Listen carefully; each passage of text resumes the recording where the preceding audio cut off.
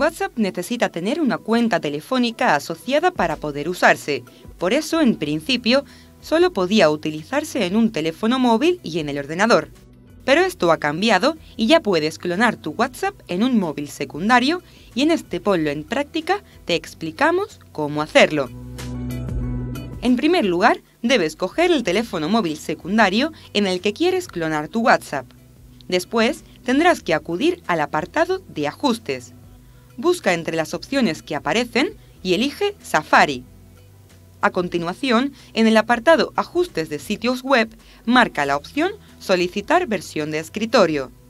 Luego, en el apartado Versión de escritorio en, tendrás que marcar todos los sitios web. Una vez seleccionada esta opción, abre Internet en el móvil secundario en el que has ido completando estos pasos, escribe WhatsApp Web en el navegador y ábrelo. Acto seguido, coge el teléfono móvil principal y entra en el apartado Configuración. En dispositivos vinculados aparecerá la opción Vincular a un dispositivo.